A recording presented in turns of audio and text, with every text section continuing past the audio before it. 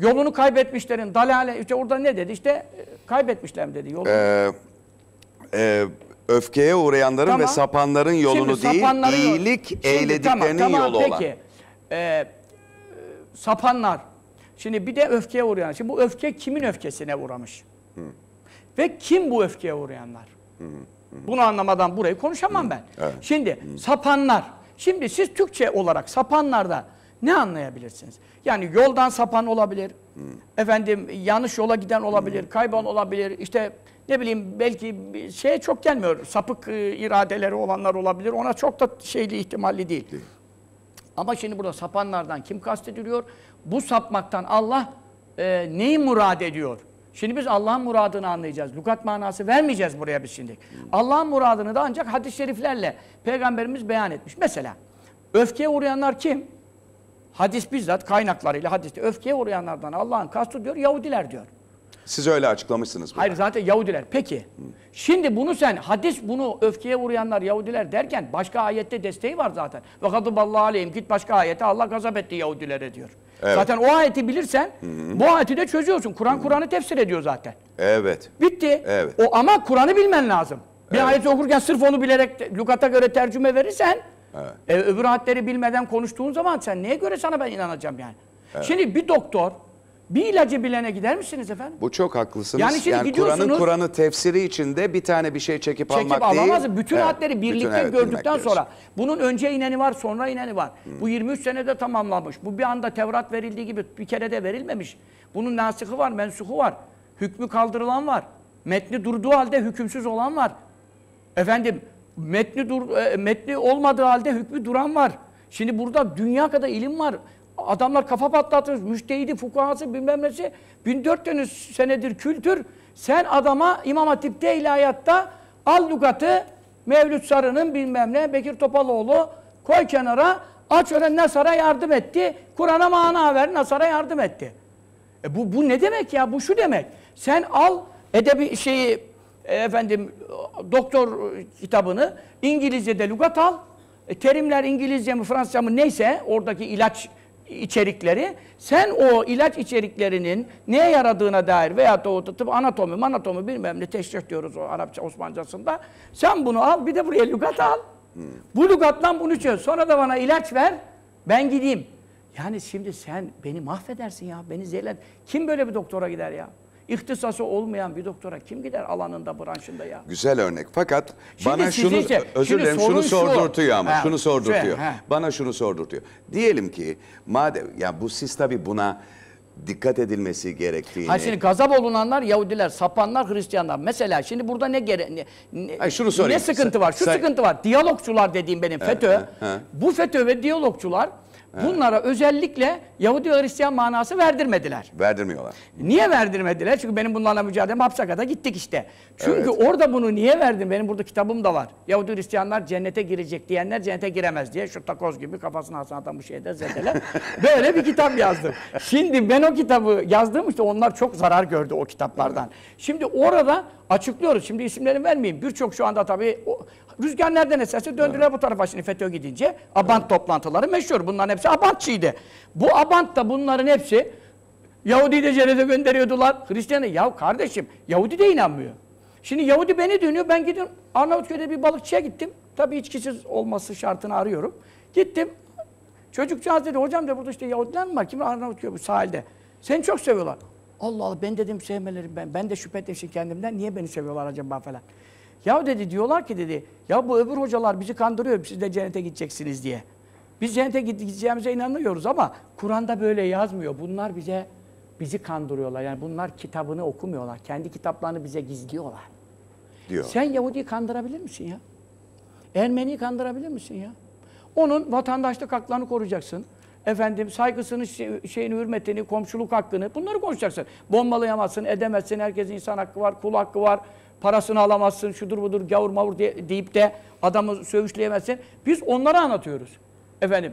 Ha o zaman diyor ki, ya diyor ben diyor cennet zaten ahirette diyor. Kim nereye giderse gidecek diyor Ermeni Yahudi.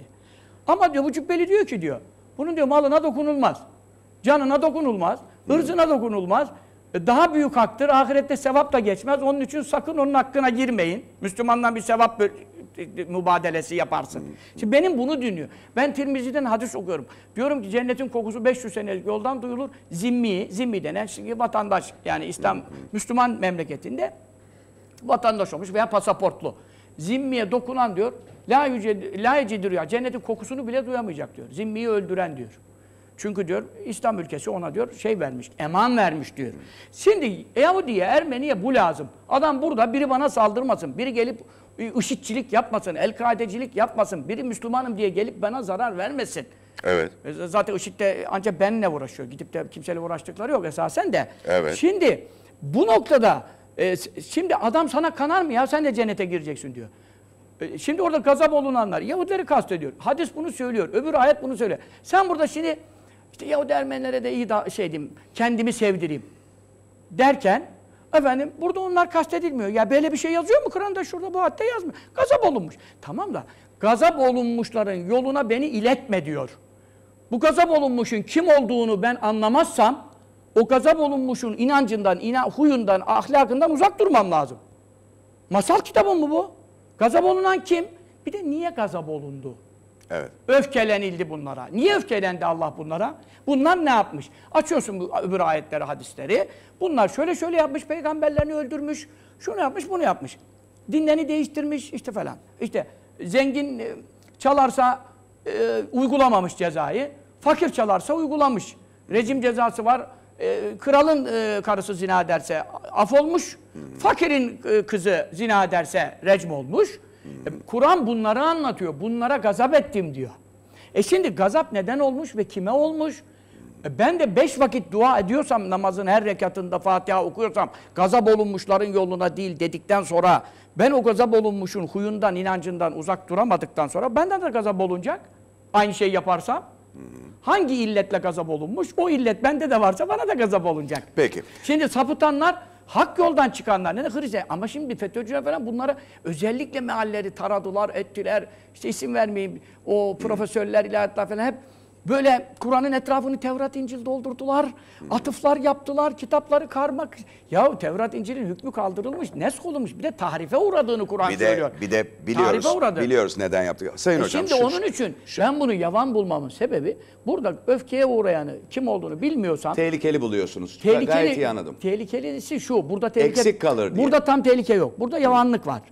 Tehlike başka yerlerde var. Ama o da zaten bizim e, hayır bir de Tehlikenin bu, bu- baş baş şurada ben ama basit basit bir şey olarak şunu sormak istiyorum. Özellikle yani diyelim ki genç bir Mesela insan. ne diyor bakın. Bakara Özür suresine Hayır, orada hocam. tercüme yapmış. Diyor ki ök, affedersin Öküz suresi diye yazmış şimdi. ha. Şimdi Ay şunu sorayım. hayır hayır Bakara sen Bakara sığır demek.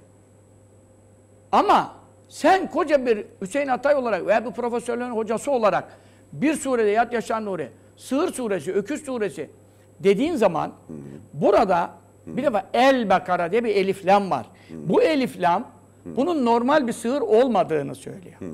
El Bakara'nın açılımı kesildikten sonra Beni İsrail'deki bir katilin çözül, e, çözümlenmesi için amcaoğulları mı öldürdü, kim öldürdü belli değil. Amcaoğulları öldürmüş, işi söylememişler. Peygambere geliyorlar. Musa Aleyhisselam'a diyorlar ki katilimiz kim? Bizim e, akrabamızı kim öldürdü diyor. Şimdi Bakara'yı diyorum. E şimdi Allah Teala'da Musa Aleyhisselam'a işte uzun uzun vahiyler var. Diyor ki bir inek kessinler diyor. E şimdi ne alakası var değil mi şimdi inek kesmekle? Katili bulacağız, inek kessinler diyor. Bakara sözü bu. Meali oku göreceksin bütün mahalle. Ya bu her Yaşar böyledir. Nuri de öyle. Yok her mahallede öyledir. O lükat manayı bozamaz. Onu da bozduğu zaman zaten şeyi çıkar ayyuka adı. Onu bozamaz. Onu bozamaz ama işte yorumları altta ona göre çevirebilir. Şimdi Bakara inek kesiniyor. Ne alaka ya? Onlar diyorlar ki nasıl inek keselim? Soruyorlar. Sordukça işi zorlaştırıyorlar normal bir inek kesselerdi olacaktı. Ama işte çok sual sormayın diyor. Eski ümmetler çok sual sorup işi karıştırmaktan helak oldular hadisi bundan geliyor. Sordular sordular neyse öyle bir inek ki Allah orada tarif ede ede bir inek tarif etti. O da bir tane var. Ama bulabilecekleri ama. Ama bulabilecekleri bir inek. Ama bir tane var. En nihayetinde adam da baktı ki durum böyle bu kadar iş Allah'ın vahyine dayanmış. Benim inekten başka çare yok. Dedi ki derisinin dolusu altın isterim. E, derisinin dolusu altından o katilin ne oldu? Allah Teala buyurdu ki "Fadrı bu bir bağla kemiğini alın. Yeni kesilmiş ineğin. Kesildi inek. Kemiklen diyor vurun diyor şeye. Ölüye vurun diyor ölüye. Ayet bu. E şimdi gel bunu bir şey diyeceğim de işte ilahiyatçıya inandır.